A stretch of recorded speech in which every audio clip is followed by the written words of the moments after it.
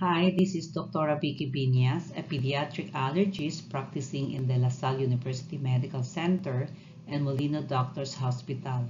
In time of COVID-19 vaccine rollout for children 12 to 17 years old, I will be sharing with you the risk assessments for adverse events to the first dose and second dose of mRNA vaccines and the algorithm on early recognition and management of anaphylaxis developed by PSI COVID-19 Vaccine Task Force.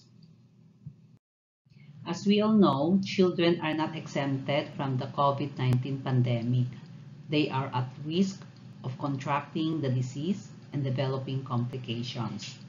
As of October 13, 2021, data presented by health authorities showed that 301,163 children ages 19 and below have acquired COVID-19, with the highest deaths reported in less than 4-year-old group, followed by those in 15 to 19-year-old group.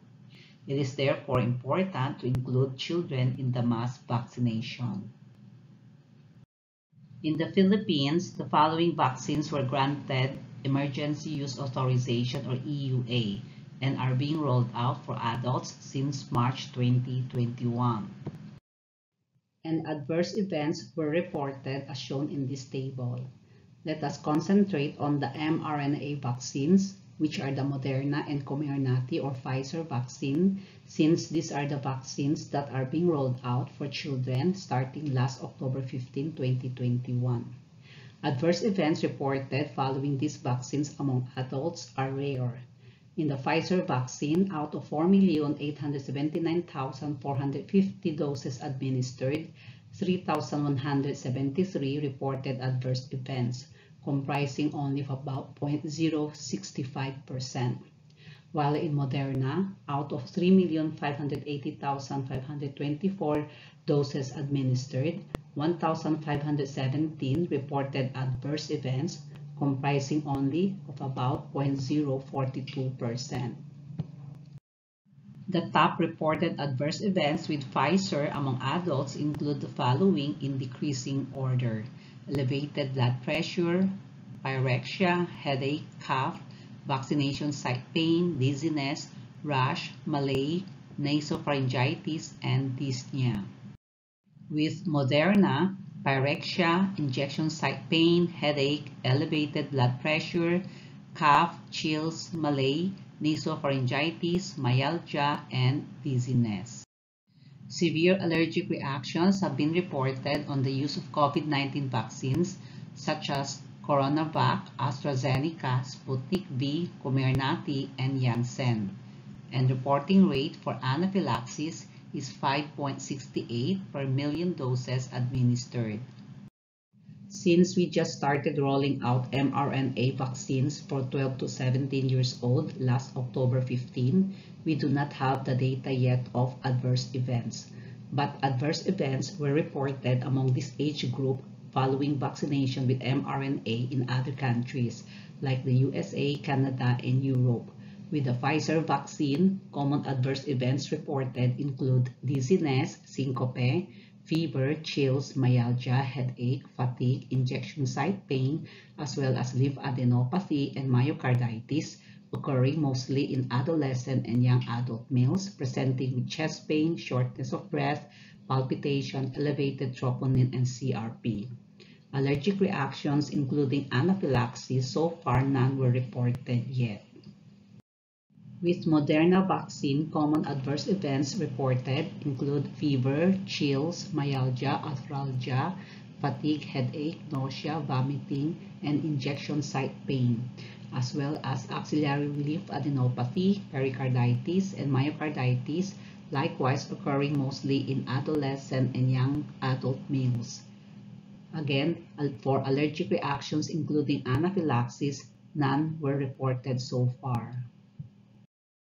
In order to minimize the occurrence of adverse reaction, it is important to risk stratify each vaccinee before he or she is vaccinated.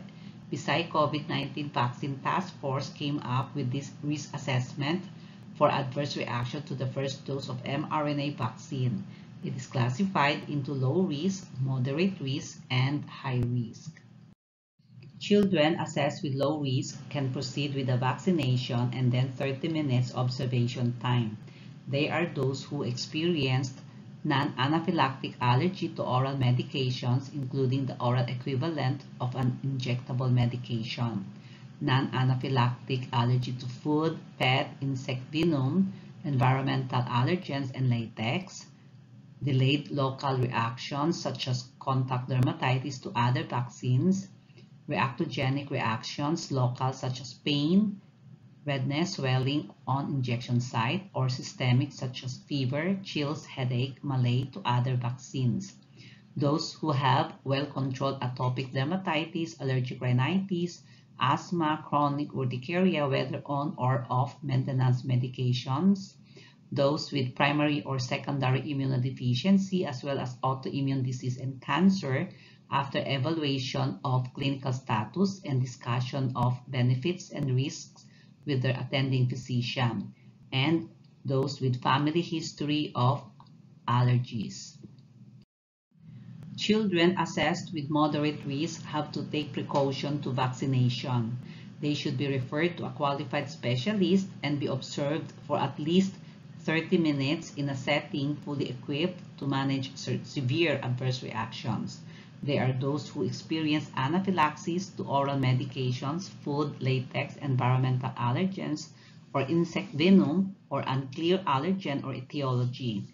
Those who have uncontrolled asthma and mast cell disorder, wherein they have to discuss with a qualified specialist for their clinical status.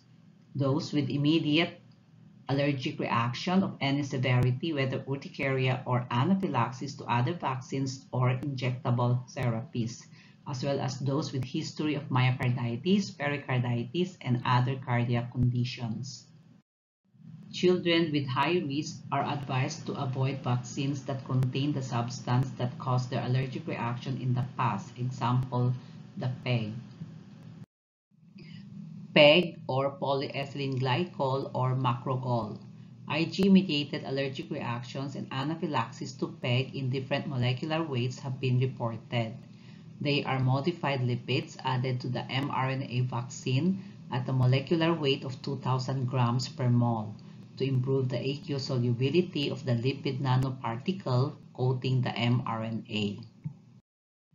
PEGs are widely used as an additive, emulsifier, solvent, and antifreeze in household cleaning products to personal care products such as cosmetics, toothpaste, mouthwashes, shower gel, moisturizer, hand sanitizer, and soap in lower molecular weights.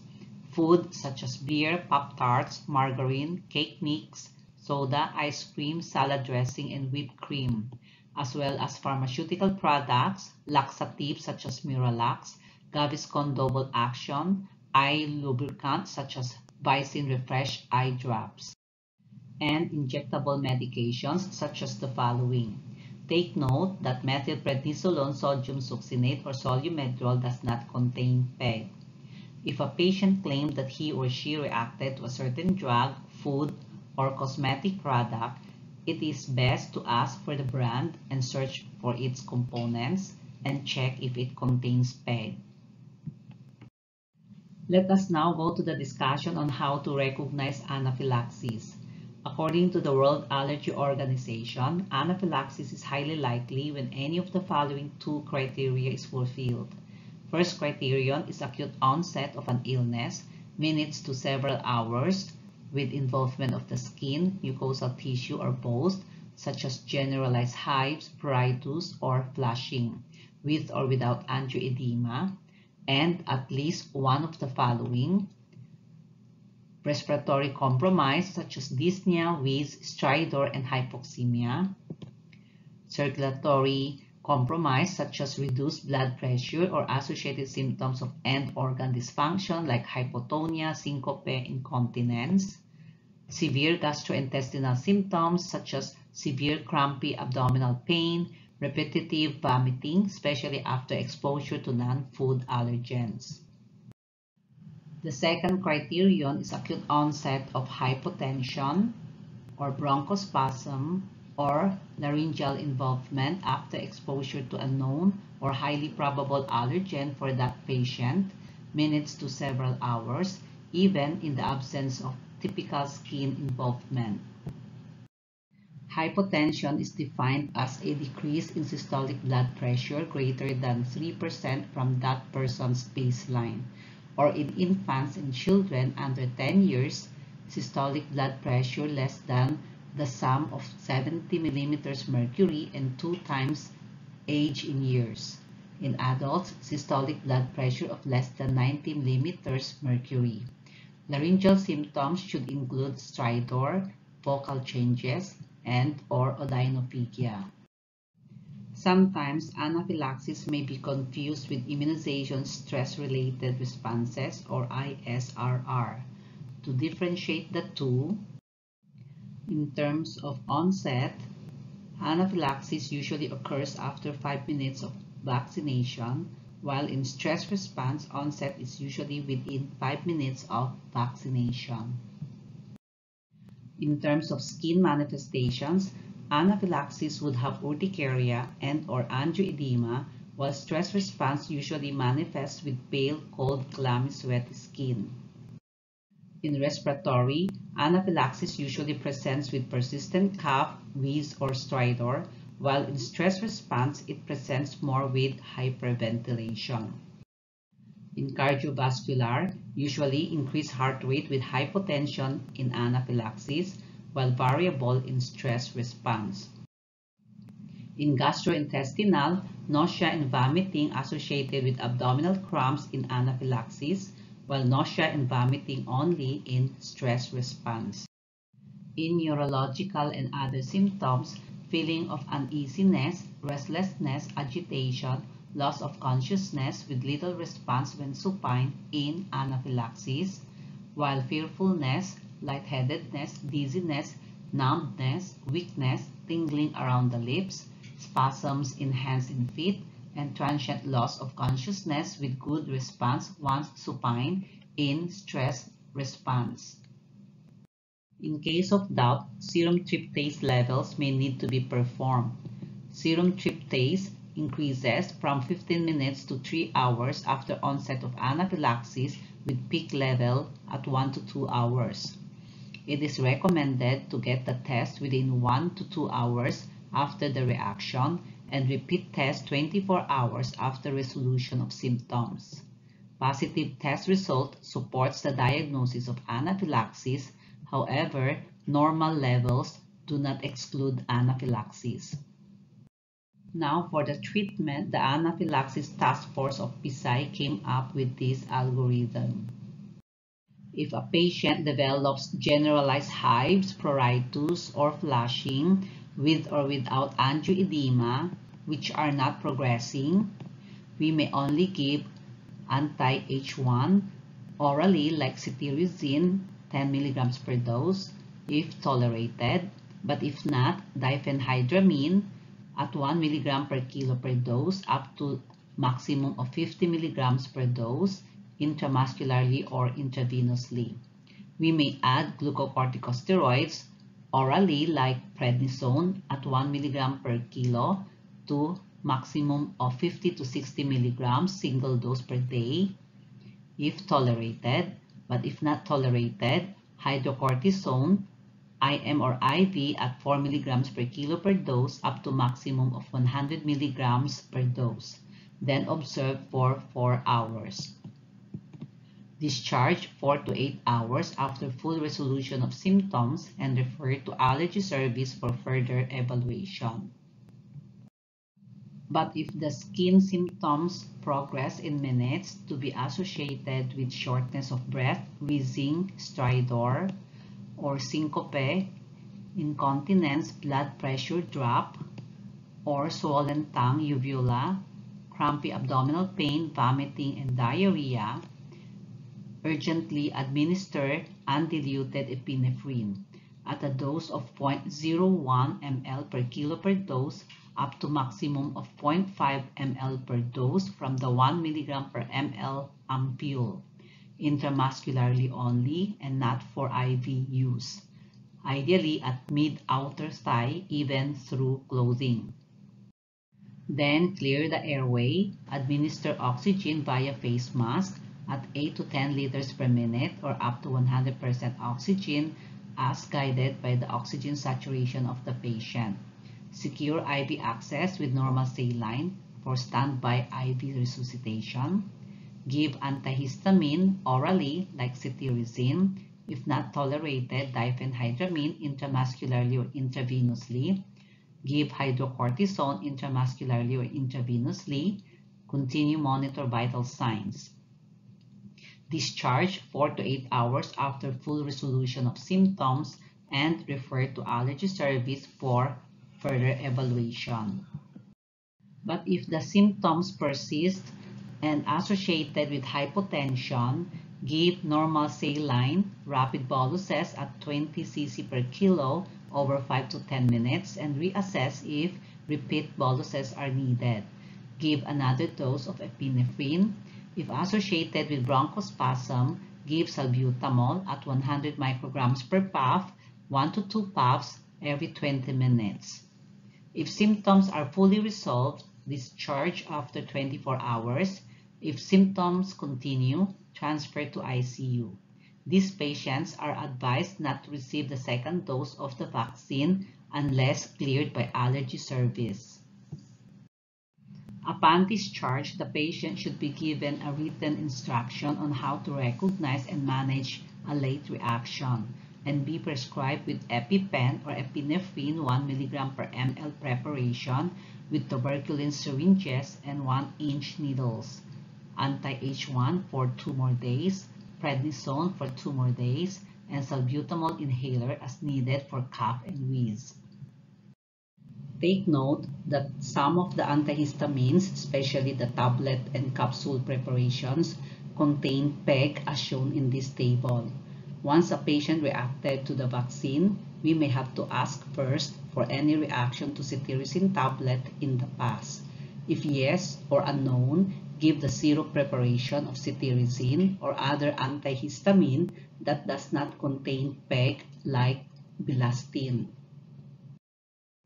On the other hand, if the reaction is just an acute stress response, place the patient in a recumbent position and elevate legs above head or have the patient sit with head between their knees. Ventilate the room well and you may place cold damp cloth on the face of the patient and give reassurance. After the first dose, the vaccinees who reacted should be reassessed whether to proceed with the second dose of the vaccine. Beside COVID-19 Vaccine Task Force came up also with a risk assessment before receiving the second dose of the vaccine. Those who develop local reaction, reactogenic and vasovagal reactions may proceed with the second dose. Those with other delayed adverse reactions such as delayed cutaneous reaction, purpura, thrombosis, thrombocytopenia have to be referred to a qualified specialist for further evaluation. Those with immediate non-specific mild reactions such as flushing, tingling, and itching without rash, as well as those with moderate reactions such as generalized urticaria with angioedema other than laryngeal, throat clearing and itching and nasal symptoms should be referred to a qualified specialist to review the history of atopy and other risk factors. Those with immediate severe reactions such as anaphylaxis, and other serious adverse reactions such as myocarditis should be referred to a qualified specialist and usually they are advised not to receive the second dose of the vaccine. They may receive another vaccine platform once heterologous vaccination is proven effective and safe, which they should discuss with their attending physician. This is my last slide. I hope that with all this information that I have shared with you, you are now ready to recognize anaphylaxis and be able to treat anaphylaxis accordingly.